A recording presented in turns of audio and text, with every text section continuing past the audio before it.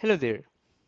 In this session, we're going to understand how we're going to use the service hooks and integrate with a third-party cool uh, tool called as Trello. So in this, I'm going to click on project settings. So here you, I mean, if you click on this organization this is your organization right? We see on the top it's organization. Here on the left you see organization settings. So we don't need to click here. Instead I'll open a project like any of the project which you have and then we're going to click on project settings on the left. I'll click in the project settings. On the left hand side under the general tab you will see a service hook. I'll click on that service hook.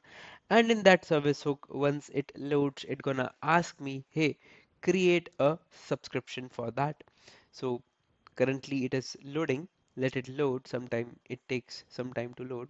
So once it's loaded here I'll create a subscription. On the top if you read it says integrate with your favorite services by notifying them when event happen in your project. So that's what we discussed in the previous session whenever any activity happened in Azure DevOps, you want certain event to or action to be performed over the other third-party tool. So let's create a subscription by clicking on create. So these are all the tools which you can integrate with. For the time being, let's start demoing with the Trello. So if you don't know what Trello is, let me just demo that. I'll take to my Trello. This is the Trello uh, portal or you say Trello, the third party tool. So see, this tool is exactly same as board. Remember how board works, right? I mean, here you created a work item, like it's kind of a work item. And if you wish to move this work item from one board, I mean, from one in progress to complete, it works the same. So this Trello is working exactly as a board. It it works as a Kanban board as you have seen in your Azure board. So here you can also move the work item here and there. Like we have seen, we can create the work item here as well. But here it is not called as work item here it is called as list I mean the, under the list it is called as tasks so I mean these are the list in progress completed blocked. So there it there it was called as columns or you say a state. So here, here it is little different. Only the terminology different uh, differs but rest everything is same okay? So it's if you want to consider consider this as exactly similar as a Kanban board. Under the Kanban board you see uh, in the Azure boards you see the board where you can move the work item here and there under the different column. So it's exactly the same. So we're going to integrate this thing Azure DevOps with the Trello. So I'll just select Trello and click on next. Once I do that, it states, hey, which action item you want to perform. So for this demo, what I want to do, I want to create a work item. So I'll just select this when a work item is created. So what I'm trying to do here is when a work item is created in Azure DevOps, I want the same work item to be created in Trello. I'll give you the live example, live use case. For example, whenever a team is migrating from Trello to Azure DevOps or from Azure DevOps to Trello, then in that case, if I'm creating a work item in here, then there can be a requirement that, hey, in like for the time being, once the migration is not yet completed, please keep on creating the similar kind of work which you are creating in Azure DevOps into the Trello as well. So basically in order to not to duplicate things manually creating one by one, instead whenever a work item is created in Azure DevOps, a same work item should be created in Trello itself. So that can, can be a use case. I'll just click on work item is created. So what happens in this I want when a work item is created in Azure DevOps, the same work item should be created in Trello. So that's my use case. And here I'll select area path. Any work item type is any, meaning any of the work item is created. It should be created in Trello, right? So I'll just click on next. See, whenever you work with Azure DevOps to any third party tool, like in this case Trello, we have to authenticate. So likewise here we need to provide a token because Trello is a third party tool and in order to work with Azure DevOps and Trello we need to provide the token. So I'll just simply click on get it now. Basically I'll be needing a token so as to say that hey I'm authenticating my Azure DevOps to integrate with Trello. I'll just simply uh, click on allow that will create a token for me. I'll copy this token. Basically, I need to provide this token into my Trello. I'll just provide this token. So once I provide that and you see it is refreshing and you see it it displays the three boards. So in Trello, I have three boards, demo one board, dev, DevOps, my board. So if I take you to my Trello, here you see the three same, same kind of board, demo one, dev, DevOps, and my board. So only after authentication, it uh, it highlighting or it displaying me the three boards because it has already authenticated. So in this case, I'm going to use my board.